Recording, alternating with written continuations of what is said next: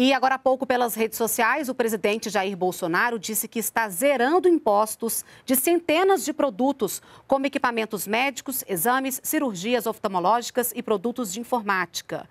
Ele comentou que já havia feito isso com medicamentos que combatem AIDS e o câncer.